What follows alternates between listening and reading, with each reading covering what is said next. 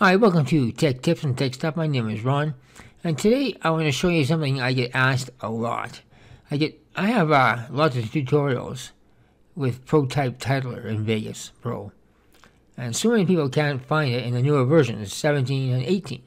So I'll show you how to do that today, and also show you how to uh, enable MOV support. So very simple. Go options,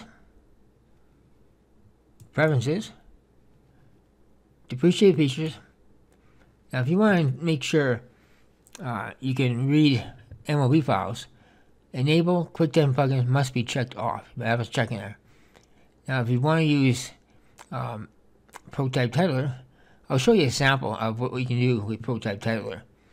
And um, we do it right now. Oh boy.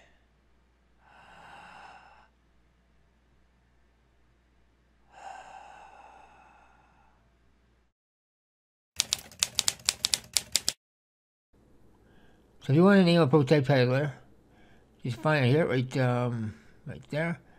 Put check mark there. Now you can, and now ProType titler is enabled, and you can um, use it. It's a it's an old program uh, in in Vegas, but you can do lots of real cool text effects with that.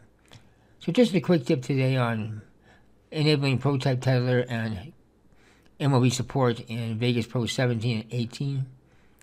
If you found this video helpful in any way, please give it a thumbs up, subscribe, and as always, thank you for watching.